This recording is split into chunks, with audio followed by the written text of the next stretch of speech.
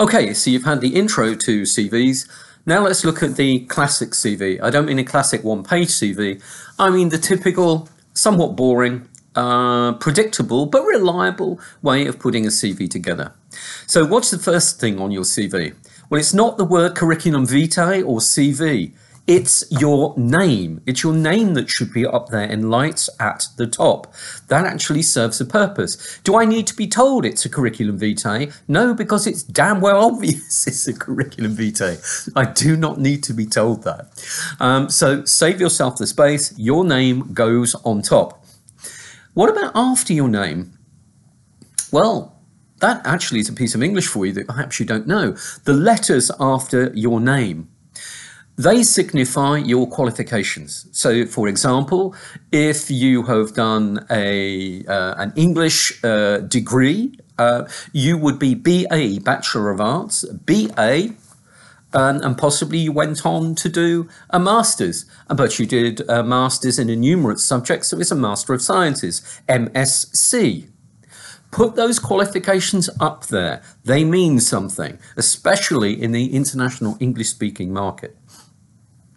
Gradually, however, you will see those letters after your name um, either fade out or get much longer because after a few years, you're out in industry, a few people are actually going to be that bothered about the fact that uh, you got a degree seven and a half years ago. What they are going to be interested in is what you're doing now. What do I mean by that? Well, not necessarily another qualification, but you may be a member of a professional association. In fact, you should be. Uh, you could be even now finishing your degrees or masters. If you consider yourself a young professional, look for a professional organization that represents the field that you want to go into.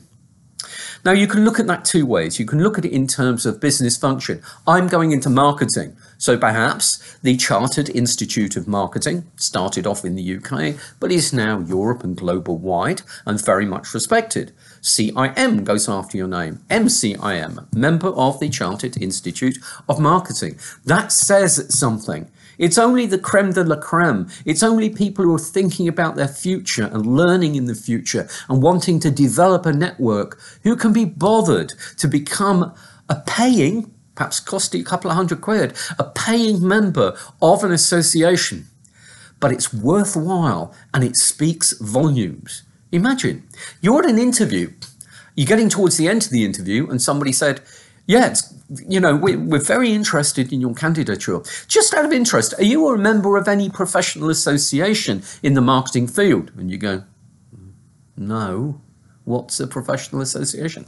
You're dead. You've just shot yourself in the foot. So letters after your name mean something, and I will be doing another video on what professional associations are before long, probably later today. Okay, so at the top, your name with the letters after your name and hopefully a professional association membership as well. Then what? Well, of course, you've got to have your uh, personal details in the sense of um, your address that you want them to write to, your email address, if you've got a website you want them to look at or a Facebook page, etc. You've got to be able to get that information all up there. But please do remember a number of things.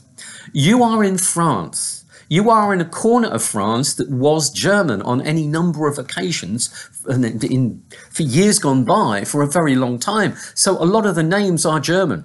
If you put uh, Hartmannswillerkopf uh, as your address, uh, with that uh, mouthload of German, if you don't put France, people are going to be writing to you from America or from the UK, assuming it's Germany or maybe Austria, possibly Switzerland. They don't really know.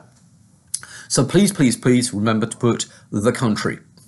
In addition, when it comes to your phone numbers, please put 0033 if you are French and have a French phone number. Some people don't know what the international dialing codes are. Don't make them look them up. Don't put plus plus because some people don't know what that means.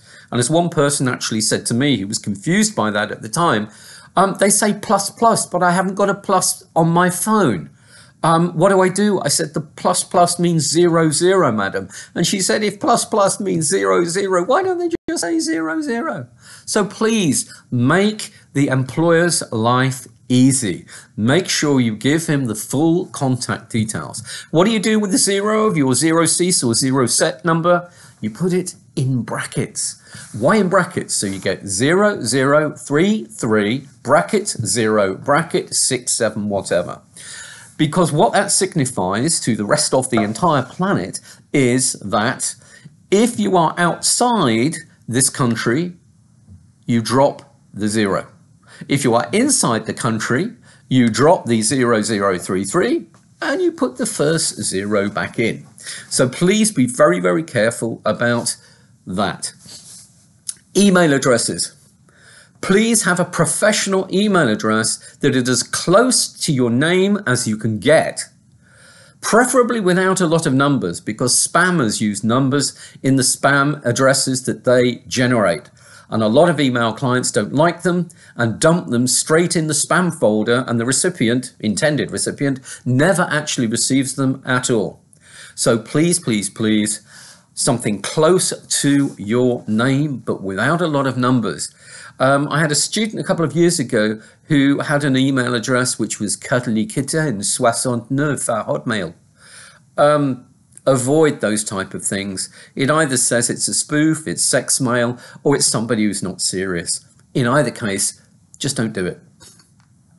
Okay, what other type of information do you need to put, which is personal information, on your CV? Well, the first thing to say about it is it's your CV. You're not using necessarily a template or something from the company that forces you to give them that information. If there is information you want to give, fine. If there's information you don't want to give, fine. It's your CV and it's up to them to ask. If you don't want to put your age on because you're very young, you've had a hell of an experience, you've got a lot to offer, but if you put down age 22, the company might think, oh, too young, can't possibly have the experience. But if you leave off your age, maybe they'll be interested and invite you and be surprised that someone so young can have such a wide ranging and in depth uh, experience to their name.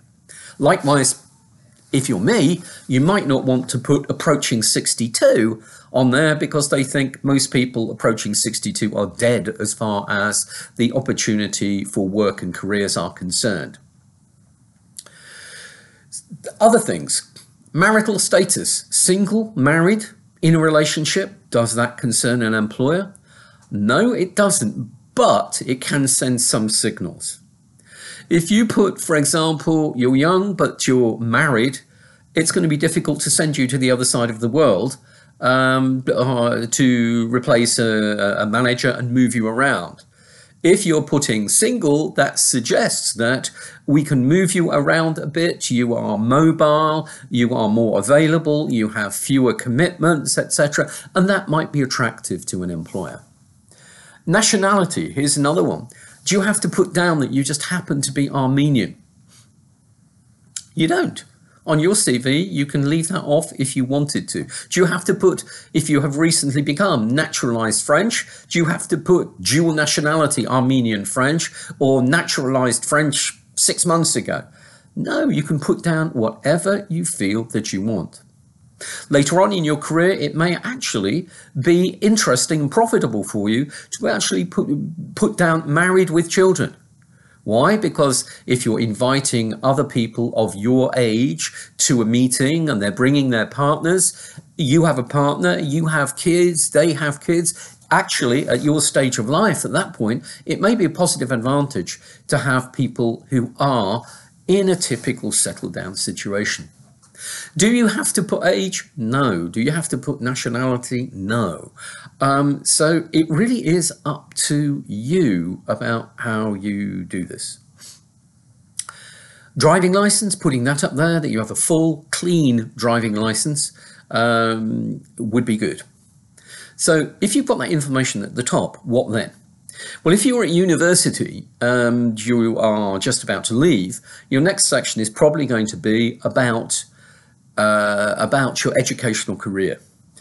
Now, remember that they are going to want to appoint you to a job because of the things that you are capable of doing, not because of the books you have read. So, just putting down marketing, uh, communications management, search engine optimization, or whatever it happens to be, that actually doesn't tell them a lot. Um, for example, uh, with those, could you negotiate with a printer to produce 250,000 four color brochures and come up with the best price? Search engine optimization, does that mean you can run a website as well? They don't know from those titles. There are lists of things that you turned up for Monday morning at nine o'clock. That doesn't help them. What they are after is the skills and the knowledge bases that you have and that you can prove that you have successfully used and could transfer to their contexts. So please, yes, we need the dates. Yes, we need the course titles in French and in English. Yes, we need some indication of the content, but beyond that, we need to know about what the skills are that you have developed throughout this, that you are able to employ for the company, and that those things meet what the company is actually looking for. Okay, same thing goes. Oh, by the way, sorry, before I go any further, reverse chronology. In other words, the latest thing first. So I do not want to see brevet, baccalaureate, diploma, uh, degree, masters. Start with the biggest, most important, the, the highest level, the most impressive, which is likely to be the most relevant for the post that you're going for. So please, please, please reverse chronology. Same goes, by the way, for work put the most recent things in first. It's likely to be your placement, your stage. Okay, so put those in.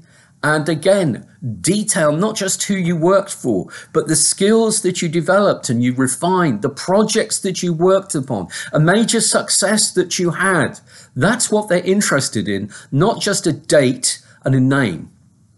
Oh, while we're on durations of things, I would, if I were you, put months, not days of the month. So, for example, placement from January to June. If it was January the 31st to June the 1st, you've basically lost two months off that. But if you say January to June, people are going to go January, February, March, April, May, June. That's six months. In reality, it was nearer four months, but you're putting down six. You're not lying. If they want to know the precise dates, they can ask and you will tell them. And you're not lying because you did start in January and you did finish in June. So please, please, please think about that because where employers are looking for six months or a year, it's difficult to get those things to add up. But if you can stretch things by not lying, but actually just giving month to month, when they do the calculation on their fingers, it may actually look better for you, okay? So, again, employment. What they're interested in is the knowledge, yes, and the skills that you've developed, employed, what you've learned, how you've refined those skills, and whatever it is that you're doing that they can then use in their companies, or you can use to their advantage in the company that you hope to go to work for. Don't forget about the petit boulot the little job. I call this Super U accueil. Okay, imagine somebody's come to you, you're behind the accueil, they're walking to you with two bottles and they're angry. What do you do? Well, the first thing is you calm them down, you lighten things. Um, Sir, I think you've got a, an issue to do with those two bottles, it seems to me. Would you like, perhaps, and you smile at them, would you like to explain to me what the issue is? And let me see what I can do for you to put the situation right. In other words, that's creating an atmosphere, it's calming things down. Then what do you do? The client speaks. What do you do? You listen. While you're listening, you're processing to try and understand the problem and understand the root cause of the problem so while you are listening, you are beginning to come up with possibilities. So then you speak and you say, if I've understood correctly, sir, this is clarification, this is the situation, and I think we have a number of options which we can put forward which will help satisfy you. Option one, option two, option three. Um, which would you prefer? Which would you like me to do for you? And then you listen again, and between the two of you, you are negotiating. So you negotiate and then what do you do? You put something into action. I could give you another version of that that involves millions of pounds for a massive company between the PDG and his number two. Actually, it's exactly the same process that you use behind Super U Accueil. It's just that the figures are bigger. So remember, even small jobs matter. While we're on that, voluntary work. That's even more important in some respects. A CV tends to give a list of stuff that you did, places you went, the time you spent doing XYZ. Doesn't tell you much about you, the person, what you're like, what you think, what you believe. Voluntary work does. Voluntary work says there is more to life than paid employment. I believe in certain things and I'm prepared to give up my time, some possible income, etc., to help in these particular situations. Even if it's only a week and the Restos du Cœur um, once a year near Christmas, if you've had the time. Those things speak volumes about not what you do, but about who you are. When somebody employs you, they're employing you, all that you are, the person that you are. So showing some of that on your CV is vital. So please talk about voluntary work, not just the dates, but why you do it, what you hope to achieve, what what you believe about it. Okay? There's nothing wrong about saying, I believe that it's the duty of citizens to be able to help, even at their own cost of time and money, because there are others less fortunate. And the context of that, I worked for Médecins Sans Frontières. I worked as a translator in a refugee camp, as one of my students has done. So that says an awful lot about you. So please, please, please don't forget that. Okay, what comes after that? Well, you've got a whole load of different types of skills, some of which you'll have drawn out already, but skills come in different packages. There are technical skills that may be to do with languages and communication. For example, you may have a a B2 in German. Just remember, the CLES scheme is a European scheme. The English-speaking nations don't really understand it. So if you have a, an English C2 and you're thinking, great, I'm as good as it gets, I'm as good as a native speaker.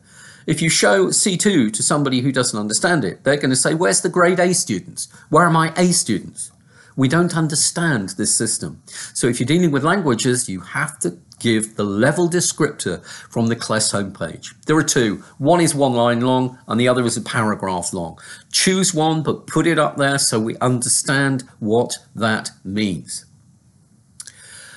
Other technical skills, like, for example, um, new technologies, what it is that you use, etc. Um, and if you're saying I use Illustrator or I use PaintShop Pro, are you a junior or, or are, do you really master this? Do you really have an ability to do and to use these things? Have you produced websites using Dreamweaver or uh, WordPress or whatever it happens to be these days? If so, give evidence give links to the sort of things that you've done with it. Um, you need to prove what these skills are because those are the things that they really, really want to see. So please, the skills have to leap out. And if they happen to leap out in the order that they suggest they want to see them from the job description and person specification, then so much the better. What else have you got? Well, hobbies and sports, please do not just put down basketball. Please do not just put tennis. Uh, please do not put reading, films. It doesn't say anything. They need to know about you and what your interests are. If you're really passionate about something, normally you do something, you don't just spectate. So, what is it that you do? If you're interested in reading, what genre of books um, have you been collecting these for years? If you are interested in cycling, do you compete? Do you VTT? What's been your your your biggest uh, trip on your on, on your bike around the country, etc.? If, like one student that I had, uh, Hakim, I remember you well.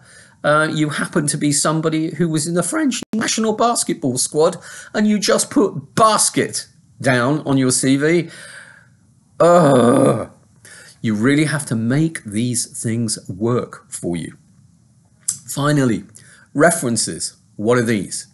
You need to give somebody the name and address and the email of the course director and administrator for your course.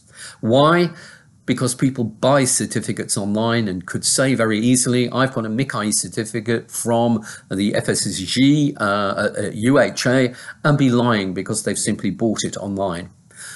You need to give the employer an opportunity to check up that you really did get awarded uh, your degree or your master's in uh, June 2011, whatever it happens to be. So please, please, please do that.